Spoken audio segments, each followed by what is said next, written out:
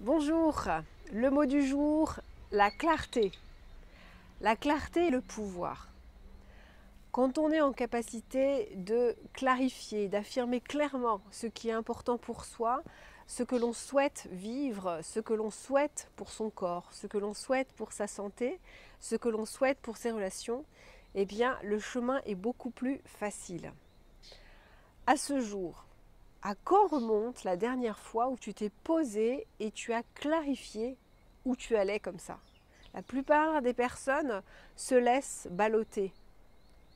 Il est pourtant important, capital, de prendre le temps de se poser et de clarifier là où tu vas et qu'est-ce que tu veux et pourquoi.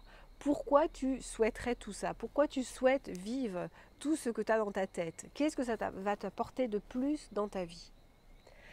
Et si c'était le moment opportun de te poser, de prendre un crayon et un papier et de clarifier ce que tu souhaites vivre à partir de maintenant.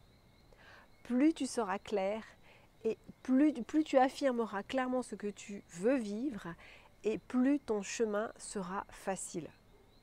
La clarté et le pouvoir. Bonne journée, au revoir.